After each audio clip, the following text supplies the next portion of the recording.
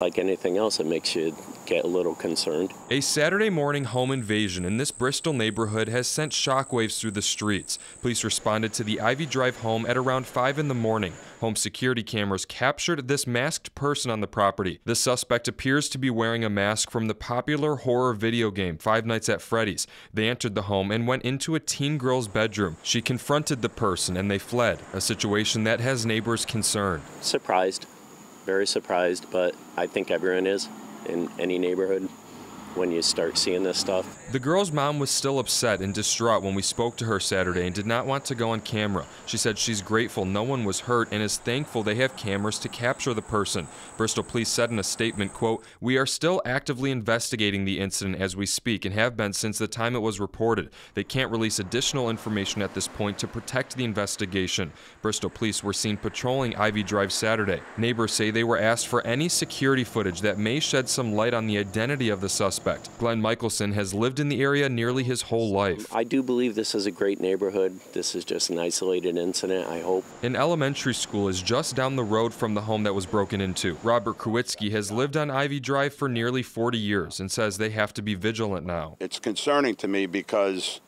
it's, you know, what we consider a safe neighborhood. Obviously, we're standing in front of Ivy Drive School, and uh, it's, it's very concerning, especially if you're telling me that, you know, somebody was home. Bristol residents say this is a safe and peaceful community. Now, they remain on edge until this masked intruder is caught. I send my regards and, and concerns as a almost 40 year neighbor of Ivy Drive. Bristol police are asking anyone with information on who that suspect may be to give them a call. The mom says her daughter is hanging in there and they're hoping no other family has to go through something like this. In Bristol, Tony Black, Fox 61 News.